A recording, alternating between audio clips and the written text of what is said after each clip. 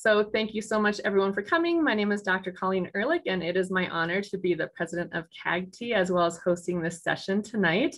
Um, with us, we have got Dr. Susan Daniels and she is an internationally recognized expert in the field of gifted education and creativity, formerly a professor of educational psychology. She is now Associate Dean and core faculty of the Bridges Graduate School of Cognitive Diversity and Education.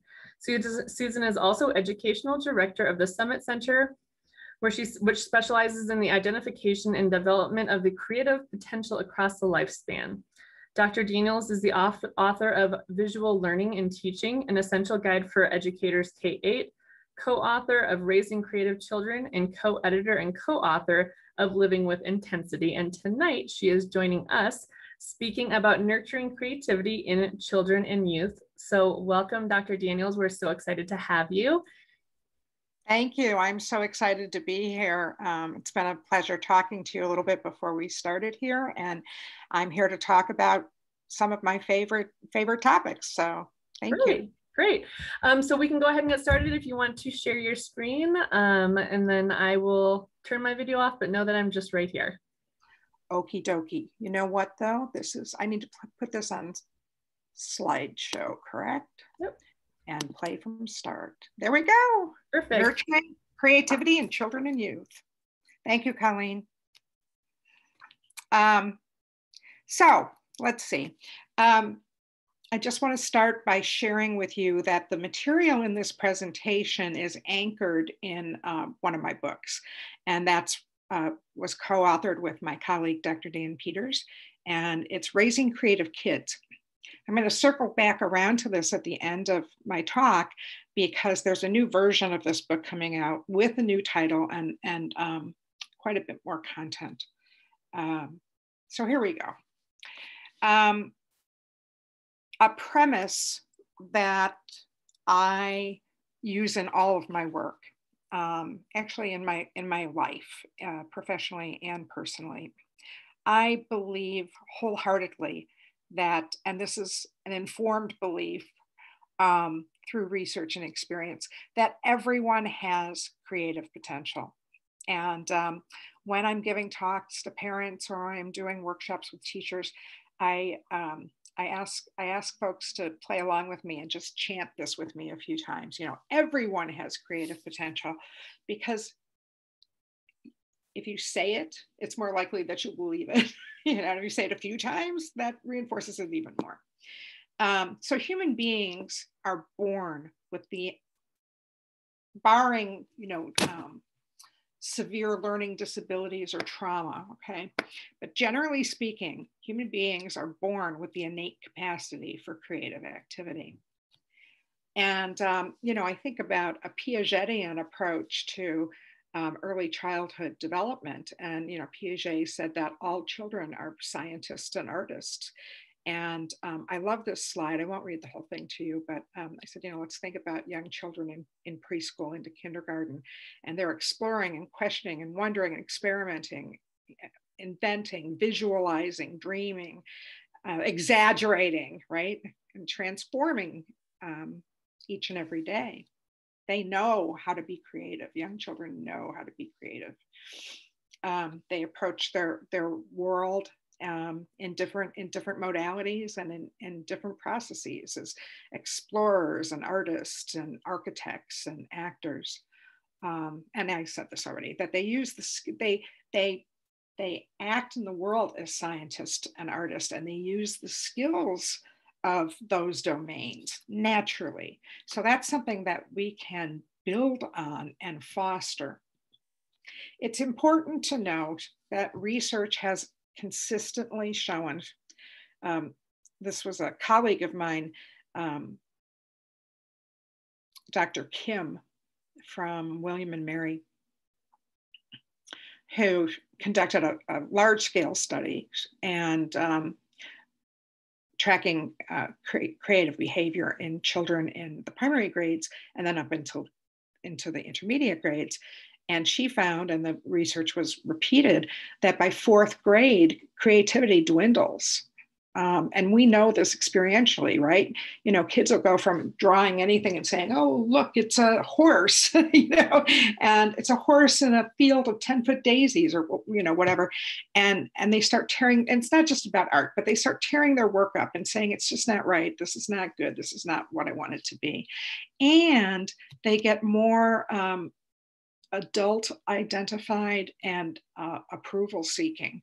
And you know so they'll ask is this right? Does this look good? And when you put that evaluative piece in it naturally suggests that there's a right way to do things and a wrong way to do perhaps a wrong way to do things. And so that's setting up an external standard instead of the the internal um, creative impulse of the child leading the way excuse me for just a second. So, with all that teachers and parents have to do, and with all the challenges in the world that we're dealing with right now, why nurture creativity? That's exactly why. Um, creativity enriches our quality of life, it stimulates growth and learning, and it enhances happiness and meaning. And I want to share with you that in a lifespan, um, de- development literature. Uh, individuals who are engaged in, in personally satisfying creative, creative endeavors um, have overall better psychological and physical health.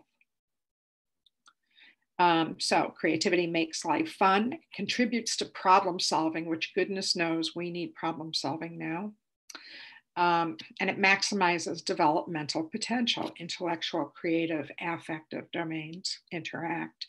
Um, I want to say something here about creativity contributing to problem solving because I was having a conversation with Colleen before we started here, and um, she said something about creativity and problem solving and critical thinking being taught, you know, like as an add on or as an extra or as an enrichment process. Um, but it's important to take creativity and problem solving and connect the creativity and problem solving to the regular curriculum and to um, subject matter content so that students understand that, that these higher level skills can be applied across domains. Um, so if, if like me, you're someone who spends time studying or working with the development of creativity, inevitably um, you'll come across what are what are called in the literature the four P's of creativity, and they are person, process, product, and press. And I've been talking about person, process, product, and press for all of my career, 20 plus years, more than that, really. Uh, and I, I've explained time many times that press refers to the environment. And it took me until fairly recently to realize that um, the four P's would just as uh, well be person, process, product, and place. You know, it's what what's going on in the environment that what might scaffold and support creativity or squelch it. So just a minute, I need to move my little thumbnail so I can see this. Um, so when we talk about uh, creativity and at the person level, we're looking at um, unique characteristics that contribute to creative outlook and to a creative personality. And then creative processes are the thinking skills, cognitive processes, methods, and techniques. Um, there are skills that can be taught create creative thinking skills that can be taught and that can be used across um, various subject matter and used in one's personal life. Um, there some literature about um, flexible thinking in, in adolescence and um, adolescents who, who are flexible thinkers tend to thrive to a greater extent in adolescence than in adolescents than adolescents who are more rigid um, and um, inflexible in their thinking. Um, products pertain to things that are made, performances or tangibles, but products can also be ideas and stay at the level of the idea And that's fine because sometimes one idea, right, will snowball into the next and the next, and then perhaps become a product or not. Um, this says that products are ideas, performances, or tangibles that are both novel and purposeful. And that quali- qualification of novel and purposeful comes from Dr. Howard Gardner, whom you may know as um, the man who developed the theory of multiple intelligences. He was also an expert in creativity. And he said that creativity needed to be novel and purposeful because otherwise it could just be something bizarre, like I could decide to stand on my head and give the rest of my talk, which wouldn't which would be novel, but it wouldn't be particularly purposeful because, especially being virtual, you'd see my feet, right? Um, so I, you know, I kind of, I think that's an important concept to think about, but I also want to put a caveat on that, and that's that sometimes um, creative work doesn't appear to be purposeful. Um, or it doesn't appear to be purposeful at the time that it is created, like um, I, I'm a fan of Leonardo da Vinci, and Leonardo da Vinci, you may well know, in addition to being an artist, was an inventor, and he kept copious notebooks of inventions like that were very similar to submarines and helicopters and all sorts of things that we have today. And his peers at the time thought he was a bit batty, you know, and that those were not purposeful designs because they weren't realistic. Okay, and then press or place is the nature of the environment and how it supports, shapes, or suppresses creative activity. Oops, I need to forward this. Okay, so first I want to talk about char characteristics of creativity. Um, again, person, process, product, and place. So when I was a doctoral student, and I was researching creativity, I was particularly interested in characteristics of the creative person and how those might be supported as um, you know in a classroom setting or you know as as an as an educator what I could do.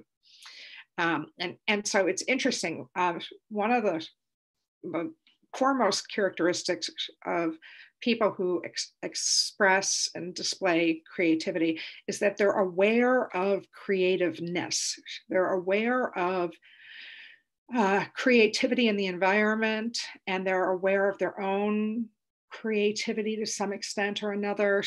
And they choose to seek out creative opportunities and they choose to find and notice creativity in the environment. Whereas there are others, and we see this in children who it's like, you know, uh, uh, too much overwhelm. I just want things to be this way. And, and that's how, you know, that's how I'll proceed. Um, creative individuals are original and imaginative. Um, and that imagination connects to uh, visual thinking. So a number of studies that I've read have, have talked about for um, for instance, musicians who talk about seeing and hearing the music all around them. And um, uh, there's synesthesia is a part of creativity for some people, and that's cross modal um, experiencing. So the imagination connects, for instance, certain words or phrases with colors or certain um, tastes with shapes and that that is a step towards um, using imagination creatively. Creative people tend to be independent. They want to do things their own way. Um, creativity is about being divergent, being a little different. And that takes courage. That takes courage, especially, I think, as, as uh, students go into middle school and there's um, pressure to sort of conform to the group risk taking is a part of creativity. And um, back to Leonardo da Vinci, when he was young, he built a pair of wings and jumped off um, his family's barn. That's the story, anyhow. And the story goes that there was a big pile of hay underneath, underneath the, um, where he jumped. Thank goodness. So, you know, the, the risk taking involved in an act like that is, is, is related to the belief that what you're doing is going to work. And I'm going to take this risk because I want to do this creative thing. Now, in, in terms of children, we want to en- encourage risk taking because that stretches one towards um, optimal development and, and stretching oneself. But we also, of course, need to keep children safe. So there's always that, that balance. Creative individuals tend to have high energy and especially high energy around their passions. You know, um,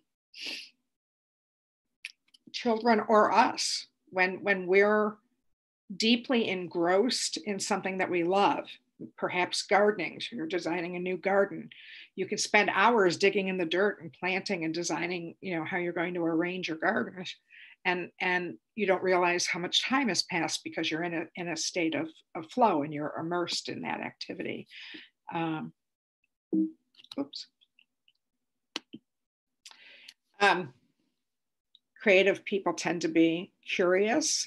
And um, when I've talked about this at times in the past, I've said, you know, the intense curiosity of, of that goes along with creativity is um, I've called it the perpetual toddler syndrome. You know, toddlers are always asking why, but why, but how come? Can we do it this way? And that that questioning of norms or questioning of how things are done carries through the lifespan of creative individuals if, if it's not squelched, of course.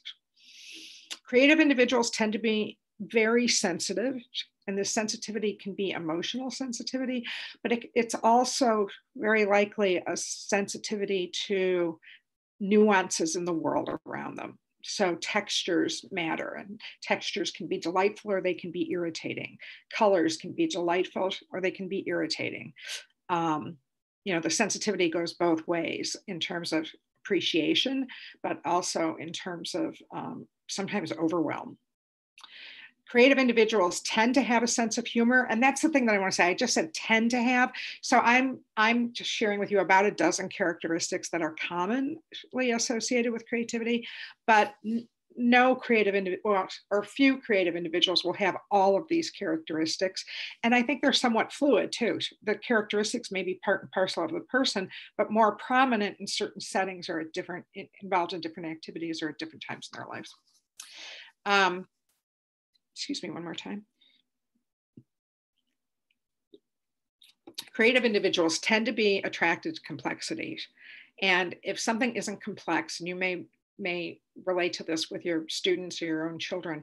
If something isn't complex, if, they, if the creative individual child starts becoming bored, oftentimes they'll create their own complexity, right? They'll take a task and they'll make it much more difficult or much more involved than it needs to be because that's part of their creative process. And then that last one, artistic, you know, um, creativity is often associated with the arts, but creativity touches all human endeavors and all domains. There's creativity in math, there's creativity in science, there's creativity in construction. Um, hopefully you want a sound foundation and, you know, when you're involved with architecture or construction. Um, and you want your brain surgeon to follow certain principles of surgery. But if something comes up that's unexpected, you want some flexibility and um, and um, adaptability. Back to artistic. So the thing that I was trying to say is that saying artistic doesn't mean that uh, that an individual is necessarily involved in the arts per se, although they may be. But actually, I, I should put a slash there and put artistic slash aesthetic. And um, I think the aesthetic piece is more universal. It's it's that um, creative individuals tend to notice um, with their senses and and again be aware of their environment and what appeals to them and, and what doesn't um, creative individuals tend to be open-minded and in fact uh, next to awareness of creativity open-minded might have been the better as the second characteristic that we talk about because that's you know that's that's key open-mindedness relates to cognitive flexibility flexibility in your thinking versus cognitive rigidity. And so being open minded and not necessarily accepting anything and everything, but considering a range of possibilities, having the, the, the perspective of being willing to consider uh, different points of view and different ways of doing things. Interestingly, too, creative individuals tend to be thorough now. They're thorough with their projects. Uh, you know, I I had a conversation once with someone who says, you know, people say, well, they won't do their, this child won't do his or her work. And it's not that they won't do their work, it's that they don't necessarily want to do our work, you know, the school work, but they may have their own passion projects that they'll, again, have high energy for and devote great amounts of time to. Um, being perceptive sort of relates to being sensitive. It's um, having insight into others and to the environment, into processes and activities, um, nuance, having an awareness of nuance. Creative individuals tend to be deeply emotional, and um, you know that that that can fall along a, a, range or a continuum. Um, being emotional can be a, a, really good thing. Being sensitive to others, being sensitive to others' feelings, being aware of others' feelings, being aware of one's own feelings, and being able to articulate that. Um, and it can mean dealing with overwhelm of one's own emotions. The in, the internal milieu, you know, the internal psychological experience. Um, coupled with creativity and, and emotionality can be can be delightful and delicious, but it can also be overwhelming. And um, it is not uncommon at all for creative individuals to have a strong ethical nature and to think about what how what they do would impact the world and so oftentimes they may be thinking about um, whatever project they're taking on or, or getting involved in and and how that might be structured in such a way that it could do do good for someone else. Okay so we talked about the four p's. Now i want to talk about um, the four c's. So the, the four c's of creativity are looking at um, types of creativity or perhaps i wouldn't quite call these levels of creativity, although I don't know that it would be wrong to call them levels either. Um, so the four C's are mini C, little c, pro C, and big C. And this is significant in studying and talking about creativity because about 15 years ago in the literature, you wouldn't have necessarily seen little c or pro C. Um, mini C and big C would be discussed. So, mini C uh, refers to everyday acts of personal creativity. And this is a type of creativity that I'm particularly interested in because I believe it's the juicy sort of creativity that you can find in everyday life that can enrich one's own life um, across the lifespan. So that can relate to changing a recipe, imaginative play, um, here, this box is really a castle, and I want you to be the, the dragon, and I'll be the knight or the princess or whatever. Um, and then building a new Lego vehicle without the directions, changing it up completely. Um, and then we'll look at Big C in contrast. Big C is a level of creative work that changes the field with future and lasting impact. So it's major earth, earth shaking, uh, significant work uh, along the lines of Thomas Edison, uh, Albert Einstein, Martha Graham. Um, I have a feeling Amanda Gorman, our poet, is going to have this kind of significant impact on our world. Sigmund Freud, Georgia O'Keeffe, and Virginia Woolf. Maya Angelou. Um, who else? Yeah, that's good. All right, so then mini C, from mini C, um, now with the 4C model, we look at little c creativity, which is developing creativity through de deliberate activity, writing a story, making a garden, choreographing a dance, restoring a car.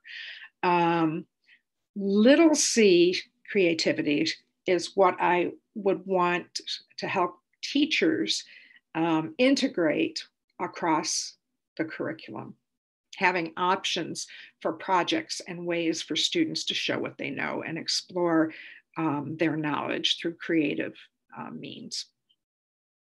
Professional creativity is earning a living or spending a majority of one's time in creative pursuits, writing, architecture, graphic design, a patent inventor, which is um, what Albert Einstein was.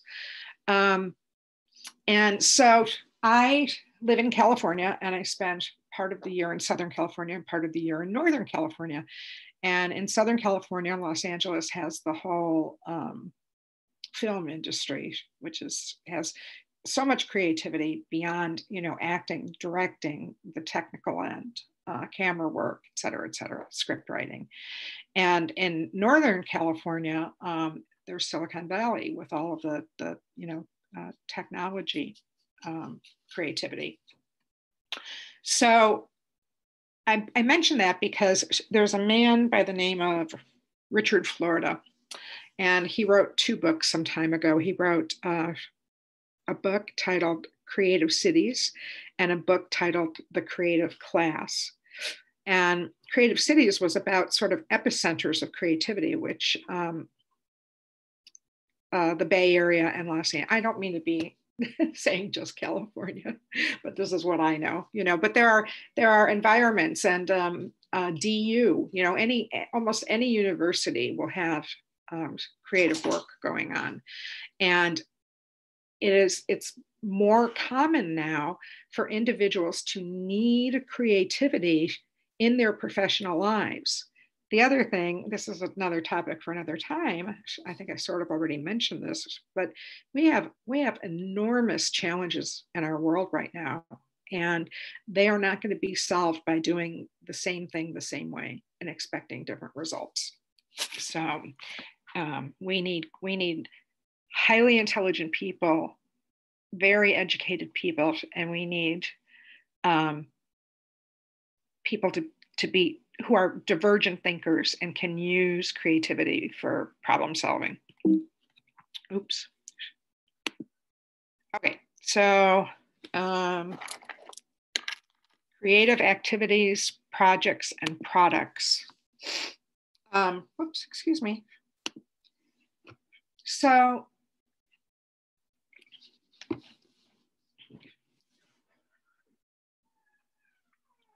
um, Colleen and I were talking about how to integrate creativity in different subject matter areas. I probably said that three or four times now. And I think that's really important because I don't think creativity should be a little satellite that's floating over here. Um, creative, taking creative approaches enriches all learning. And so I think I, I know as a professor, as an educator, that integrating creativity across the curriculum is really good for all learners, really good for all learners. It sparks interest, it sparks engagement, it sparks enthusiasm. And it's really, really essential for gifted learners. They need um, scaffolding to, um, you know, analysis, creativity, synthesis, evaluation, higher order thinking skills. And they need the ability to express what they know in different forms. So while I've said creativity is not directly linked to art, it, um, you know, some, and, and I want to expand on that a little bit. It's like, well, how can creativity and art not be the same thing? And I, I did some research at a school, high school for the visual and performing arts in Milwaukee, Wisconsin, a few, several years ago. And um, all of the students there had to submit a portfolio and and other um, you know letters of recommendation like but their portfolio needed to show evidence of artistic ability. What was really interesting is, is that not all of those portfolios were necessarily really creative. There was a type of art student who was good at at reproducing. Um, excuse me i'm going to shut my door sorry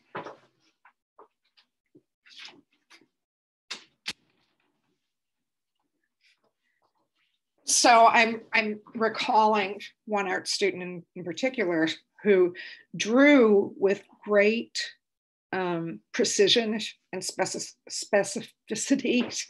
oh dear, um, but was not creative. I mean, he just he took he took um, very literal re, uh, re, representations of things that already existed and and and and um, illustrated in great details, but he didn't do anything novel or unique. Um, so that's a very interesting, an interesting um, thing, you know. Um, so making a making and illustrating a book, writing a book, creating a collage. Um, I've had so I so I'm um, the educational director at the Summit Centers where we assess gifted and twice exceptional, gifted, creative, and twice exceptional youth. And um, we counsel and coach um, throughout the lifespan. And numerous individuals that I've worked with over the last several years um, create comics or cartoons. And um, one of the teachers that I'm working with right now is creating a graphic novel for her student. She teaches writing and she's creating a graphic novel about the writing, about imagination and coming up with ideas in the writing process. So, you know, we might think of comics as being kind of frivolous, but it's really quite amazing what can be illustrated um, in just a few drawings. And something that I would do when I was working with younger students is I would have a three panel just three boxes and then a line under each one. And so it was a three panel um, comic cartoons and beginning, middle, and end. And I would ask students to, you know, cartoon the beginning, middle, and end of a story that they read or a book that they read. And they love it. And it's just, it's another way, it's a way to infuse creativity and it's another modality um, for youth to show what they know. So a design, a future scenario, an improvisation, um, invention. When I when I was both in a school district and also when I was uh, full time at a different university, Cal State San Bernardino, we had an invention convention every year. And so in the local school districts, um, teachers would take would, do an invention unit with their kids, and the kids would identify a problem and then um, create an invention and then bring come to the university. And it was kind of like a science fair but it was an invention convention and one of the ones that, pops into mind um, right now as i'm talking is there was, there was, this boy who created an umbrella hat.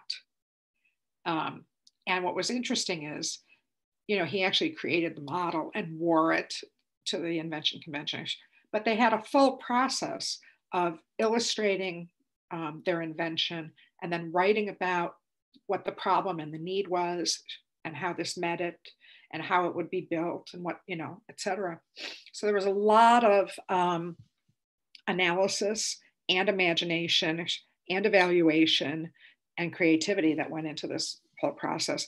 Um, there was drawing and there was writing. So you got a, got at a lot of um, core skills that need to be developed but through our very creative way. Um, I ran enrichment programs at the university too, and um, we had many different topics that could be studied, and we had a we had a video class, and that was one of our one of our most popular. I have a um, graduate student that I'm working with right now, who is um, teaching literature through through um, making videos. A musical score, a play, obviously, skits that go along with um, literature. I love the use of posters. Again, so much can be displayed in a poster. And again, working with the two modalities of visual and verbal and that has a that has a very solid rationale behind it i mean conferences at the university level and beyond will have poster sessions where individuals create a poster on their topic and they stand there and um, people can come by and view their posters and read and then talk to the individual and ask questions. So um,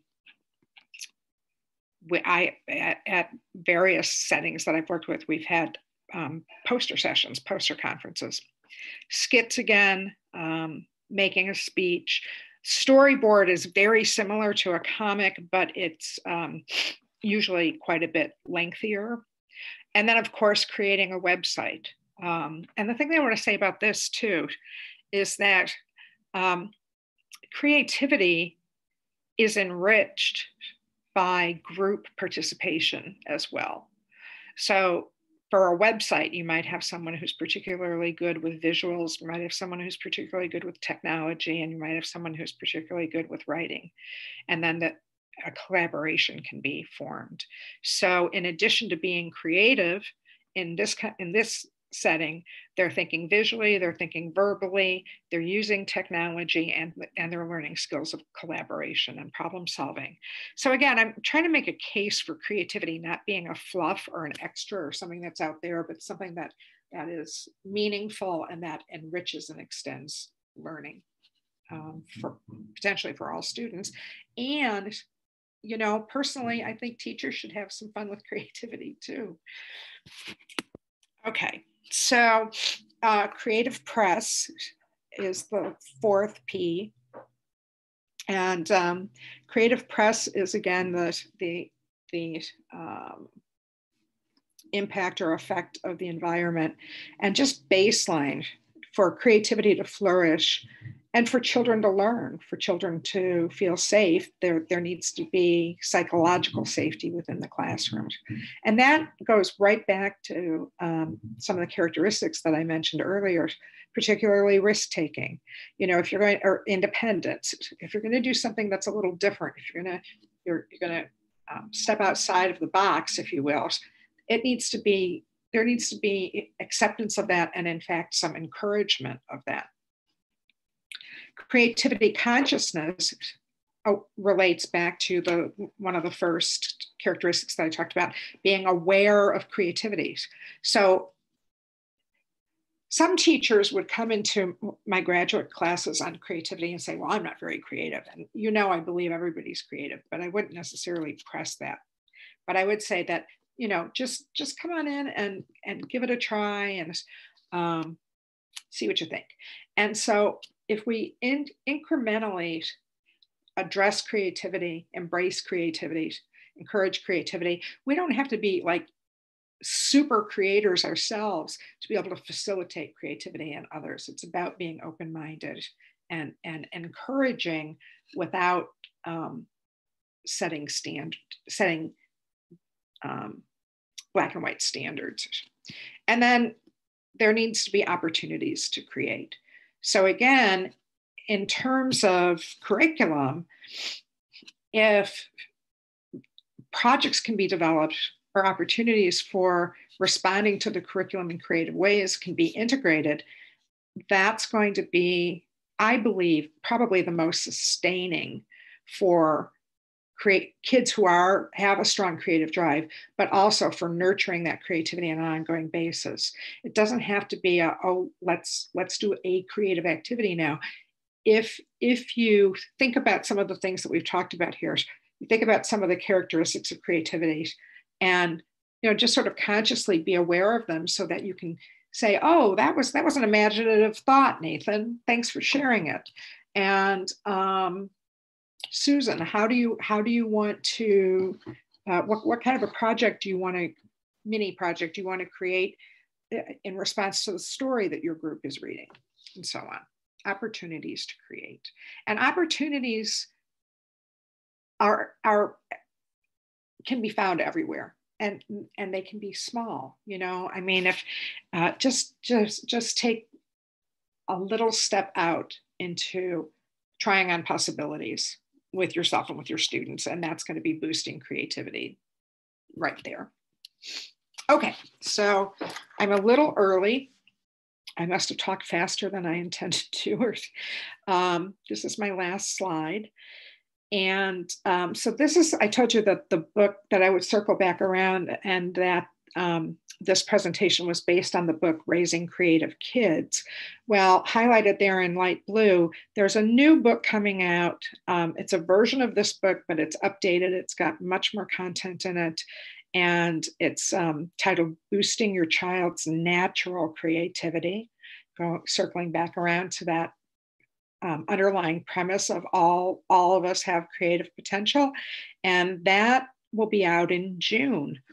I also want to share because um, I, I, as I mentioned, there's a there's a strong connection between visual thinking and creativity. I have a book out that's titled uh, "Visual Learning and Teaching: An Essential Guide for Educators K-8," and this is published by Free Spirit. And there's just loads of um, strategies in here that are about visual thinking. But if, if I were to look through it, I would say probably 82% are also creative activities and strategies as well. So we have time for questions or discussion. Yep, perfect. Thank you so much, um, Susan. And we absolutely have some questions. Okay. Um, so we'll just have you stop sharing your screen so people can see a little bit better. Perfect. And um, the first question, so this question is from membership. And the question is, um, uh, it's a big one. Uh, my child is highly visual spatial, very sensitive, and very creative. How can I continue to support that creativity when, as they get older, obtaining an education demands more structure and rigidity? Is there a way to balance it without squashing them? Yes. so here's the thing. You know, I'm hoping, I always hope that teachers are embracing some creativity and valuing it and, and bringing it into the classrooms. Um, but depending on the nature of the child and what their interests are and what their how their creativity uh, emerges, inevitably it, it's going to you know I, I wrote raising creative kids to help parents understand creativity along the lines of what we're discussing here tonight but also um, strategies for how to nurture their child's creativity. And you know, I I raised a son, and I also had a minor in adolescent psychology, so I know that you know in the middle school and high school years, sometimes um, kids aren't as fond of doing things with parents or with the family. But if you make a tradition of engaging in creative activities, sometimes that can be sustaining even during difficult times. It's like for instance what we're going through now and or challenging developmental times like adolescence. So um, one of the things one of the strategies um, in the book talks about family field trips and that everybody gets a turn. You know it may it, perhaps one one afternoon a week it's t- time set aside for family field trips. And that can be anything from going to a museum, going to a film, if we can do those things, to taking a hike, um, taking a hike and taking a sketchbook with you. And for any, for any, really anyone, when I, when I taught middle school a bazillion years ago, um, I gave my students an eight and a half by 11 artist book. They're black covered with really high quality paper, so there's no bleed through. And I told my students they didn't necessarily have to write, but I wanted them to complete one page every day, do just fill it, do something expressive. And I told them that they were going into adolescence and that this was an incredible time in their life. And I, and I wanted them to document it. So they were sort of doing a creative self study. So that's how I use that with adolescents. But young children love having a blank book and knowing that they can that it can be their journal or that they can create a book and so that's a very simple way of honoring and acknowledging and uh, fostering creativity the other thing I, I think that's very important uh, for parents is if you can try to cultivate that creativity consciousness about yourself and if you are creative, you know, if you feel that you're engaged in creative activities, talk about that openly in the family. And if you don't feel that you're nurturing your creativity, um, I'd say try try to find five to ten minutes every day to do something that pleases you, makes you happy, and is creative. And that's modeling for the for the children. It's one of the best things that we can do. I love it. And I think, you know, circling back when you had said that there are enormous problems that need to be solved, um, and that hope that um, teachers are integrating the creativity and then also through that modeling aspect at home are huge because you know we think about the problems that we have to solve in this world.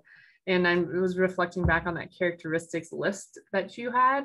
Yeah. and um, yeah those are all the that's the people who are solving the problems. We need them to have those characteristics. And so it is of the utmost importance that we as educators and parents are um, cultivating those in just all of our young people so we had a couple other questions in the chat. Um, so first we had a couple of questions um, around equity.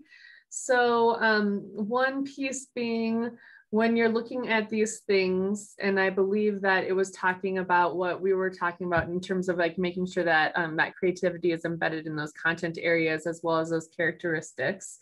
Um, do you think about equitable practices at all?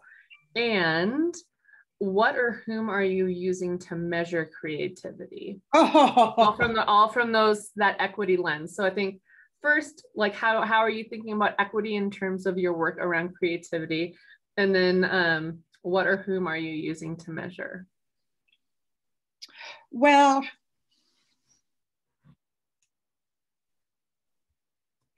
Okay, that's a big, that's such a big question. And my mm-hmm. mind's going like yeah. seven different directions at the same time.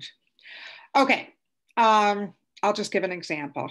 When I was a gifted program coordinator in rural Wisconsin, we had um, a very, uh, an unusually diverse um, student body in, in Wisconsin. Um, and that was in no small part um, because of uh, migrant farm workers. And I had a huge eye opening experience with, along with teachers there because,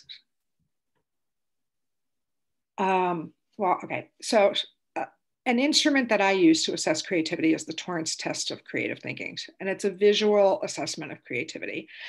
And there are prompts, there are little squiggles, boxes with little squiggles in it.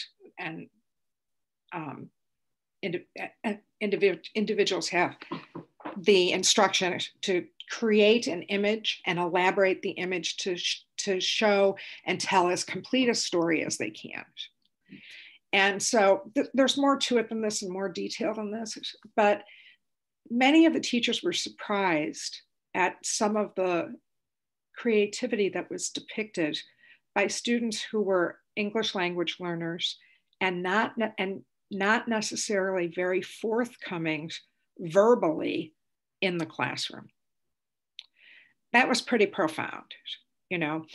So I think the equity aspect comes about in the open mindedness and the awareness of everyone potentially having creative potentials and seeking to find that, that creative potential in all of our students.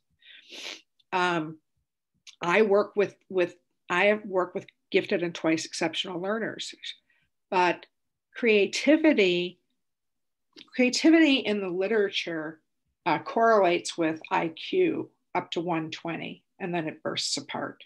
So creativity correlates with intelligence up to just just where we'd be looking at and please don't don't think that I'm a huge advocate of intelligence testing. That's a whole nother discussion for another time, but we use it.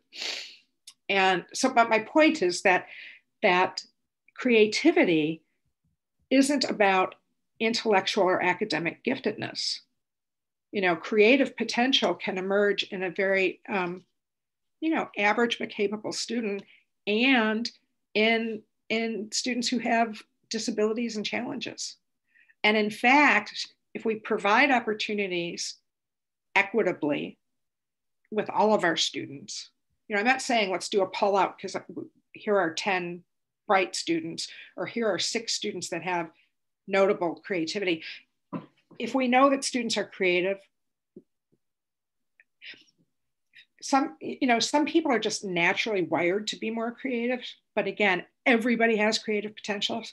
So if we've got three or four students and we know they're intensely creative i think it's incumbent upon us to give them opportunities to engage in their creativity, but also to think about that little mini c and little c of what can we do equitably to provide opportunities for engaging in creativity on a daily basis. And again you know there's psychological and mental health benefits of, of engaging in creativity. So that's really an equitable uh, process because so many of our students who are challenged or are coming from low, low socioeconomic backgrounds, they're not having enrichment at home, you know? And so they need they need opportunities um, such as these in the regular school day. Colleen, did that answer the question? Yeah, I think, and I think, I mean, I think it's, I think it does, and I think it's the hard piece is with creativity is um, like when you see it, you know you're seeing it. And how do we measure it? Oh, I think okay. that that was the other. Okay, yeah. So um, at the Summit Center, we use a couple of different ways to get at creativity. And a very simple um, thing that we, strategy that we use is giving parents um, the Torrance checklist of creative positives and so it's a checklist basically that that um, parallels the characteristics that I've talked about here today. And so parents and or teachers can fill this out and say, I see this quality. And it'll, I'm getting a, I'm getting a, um, you said you got your words tied up earlier. I'm getting mine tied up right now because I want to, I want to say like two hours worth of stuff in the next five minutes. But anyhow, um, so the Torrance checklist has, let's say, um, artistic. Okay. And so the child draws, the child um, is, has an aesthetic sense, the child loves music. Um, you know, and so there's a there's a main characteristic, and then underneath it there are four or five different related aspects. And it's just a checklist. It's not a Likert scale. You don't do one through five. You just say, yes, I see this characteristic in this child.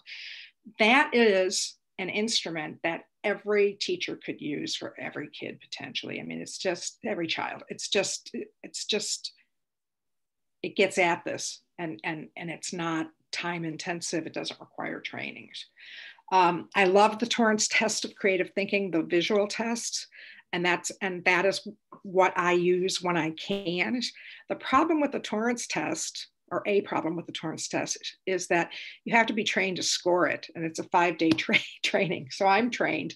Um, but you can use the Torrance test, and I think it's a it's a doodle test. It's a drawing test. Doesn't require artistic ability. I wish I had some samples, but you know you can show wildly creative ideas in very simple drawings. So it has three parts, and um, it's really inexpensive. I think the test itself is like 750 or $10 a piece. And you can send it to Scholastic Testing Service and they have scorers. Mm-hmm. So if you really think I want to get at creativity, or I've got these five five children that I think are really creative, you could use the Torrance test, send it off and have it scored and get this full report back that talks about multiple dimensions, flex, fluent thinking, flexible thinking, elaboration, originality, problem solving, storytelling, etc. Um, might, might be something that you want to do just um, as a pilot to see what kind of information you get back. It's really enlightening.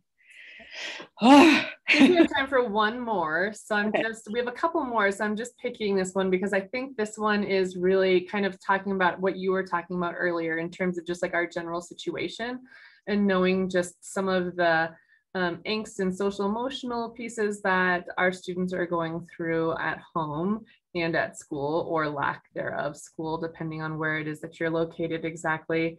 But um, somebody asked, based on your experience, when is, oops, and somebody just put it in, so let me see, sorry, the chat just went down for a second.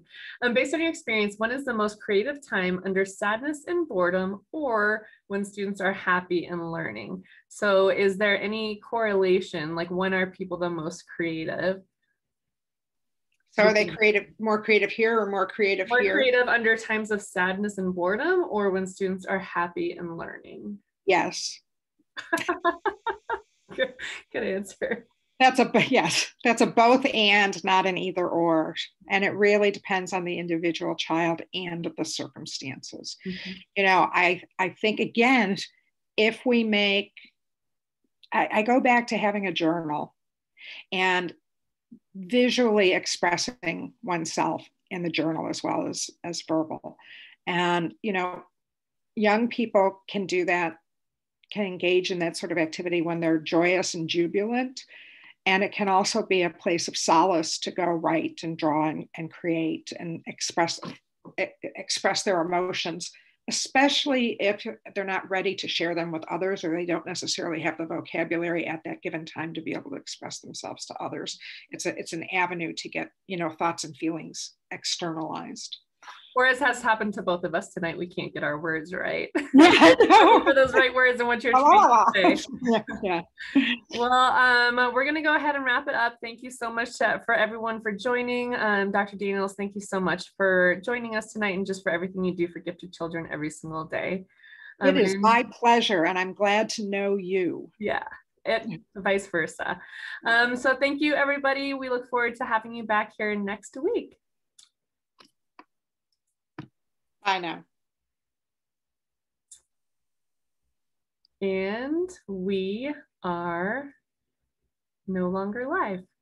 All right. Thank you so much. That was amazing. I loved hearing it. You did you did great. It was really um informative and yeah, it was well, great. Let me know if there's, you know, any follow-up or anybody, you know, yeah. I didn't say, I didn't mention my email, but you know, if, if anybody talks to you about this presentation and has ideas or questions or concerns or whatever, you know, I'd, I'd be happy to.